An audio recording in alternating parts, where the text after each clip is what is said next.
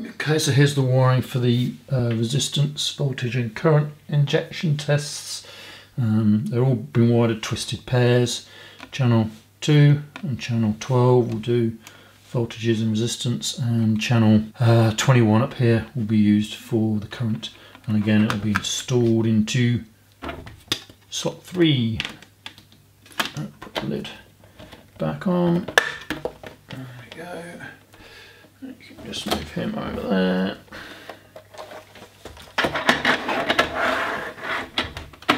Push back in. And there you go. And he's all ready for the injection tests. So we have a little bit of an issue uh, with the calibration. This is DC volts on channel 302 at the moment. It's wired as a twisted pair into a Keithley 2450 source meter, which is currently set to 100 millivolts. I've set this channel up to 100 millivolt range. And let's just go 10 PLC is on as well. Uh, uh, and it doesn't like it. It thinks everything is overload.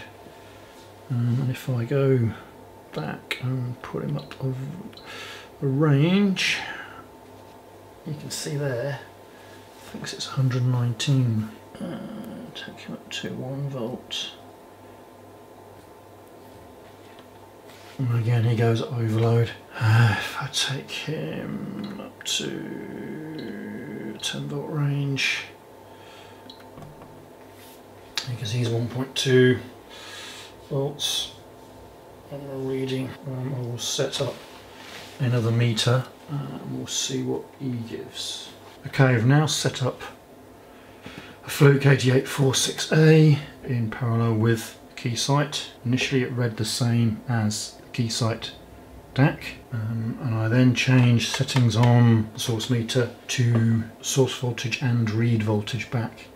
Uh, and now it seems to have corrected the output um, despite that being 1 and this was at 1.18 this also read 1.18 as soon as I changed the settings on the source meter everything's gone back to reading 1 now so we shall be able to proceed, I would hope.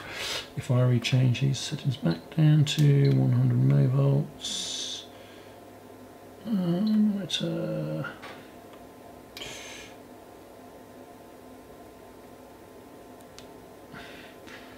it's now a question of which one you believe, whether you believe that that's 100, these two that are fairly comparable. So resistance I'm actually doing with this decade box, um, but we've got one, uh, 100 ohms, so we need to set up 302 again, isn't it? 302 channel measure 4 ohms, range is 100 ohms, and the reading is and the final one is 10 megohms. 10 megohm range. So, and then on to two wire and then for 10 megs and 100 megs. Uh, so if I pull there's two out.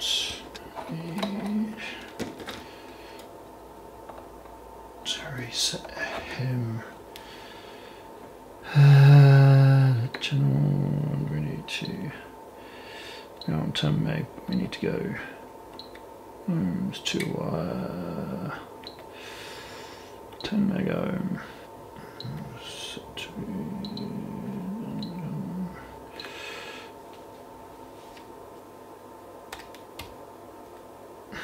Okay, so this is one AC voltage test I can't get within spec at this moment in time. I've got the AC power source from BK Precision that actually just powers the high voltage amplifier. That's uh, this big box here you can't see too well.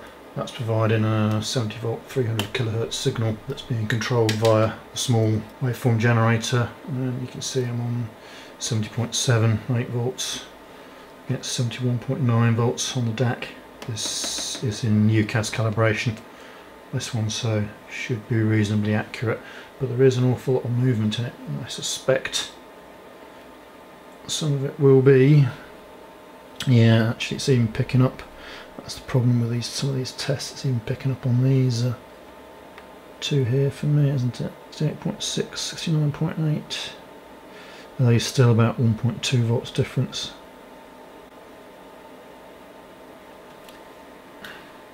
Yeah, 1.1 to 1.2 volts difference, which should be 800 millivolts difference max.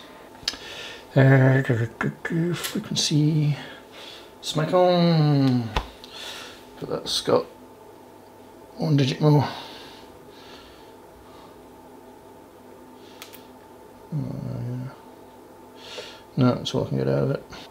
Set up for measuring the currents. He's now on channel 321 or channel 21.